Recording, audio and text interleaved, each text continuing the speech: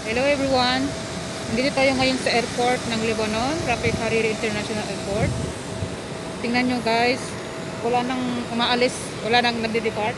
Konti na lang dahil sa dahil sa ano to, ekonomiya, bagsak ng ekonomiya kaya wala na saka itong naranasan natin ngayon na problema.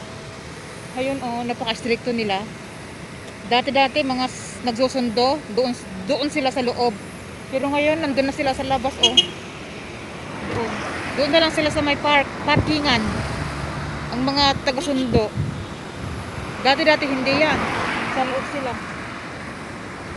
Ganon din sa departure area, hindi na kami pwedeng makapasok. Doon na lang kami sa labas. Mismong gate na lang kami. Ayan. Yan guys. Buti pa sila uwi na. May pumasahe. Kaysa kami, kaysa ako, wala pang ipon. Kaya hintay muna.